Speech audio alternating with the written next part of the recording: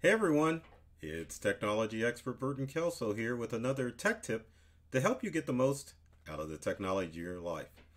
Today we're talking about privacy and Macs and the, how to tell if someone is spying on you or on your Macintosh computer. You need to forget the myth. Macs can get viruses too, not as often, but they are created and there's possibility that they're people spying on your Macintosh device. Doesn't matter if it's a MacBook Air, MacBook Pro, Mac Mini, iMac. There's a possibility someone's looking at what you're doing.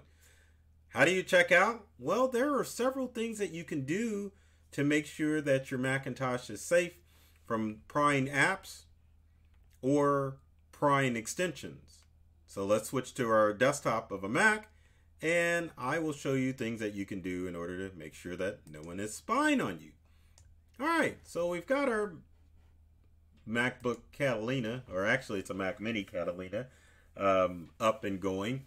And looking at this, it's like, man, how can you tell if someone is looking at your Mac? You really can't tell if there's an application working in the background spying on you.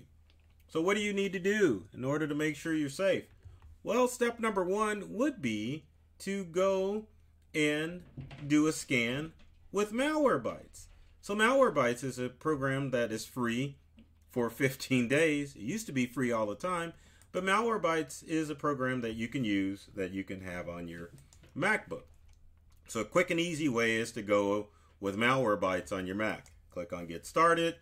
What you can do is tell it what type of computer you're using, and after a few minutes, you can click on use MacBook free and it'll scan your computer and it'll let's click on the scanner and see what it's going to do. So give it a few seconds, it'll scan in the process. If it finds any malicious software on your Mac, it will remove it. Now keep in mind that it has to be installed on your Mac. There's another way that people can be spying on your surfing habits on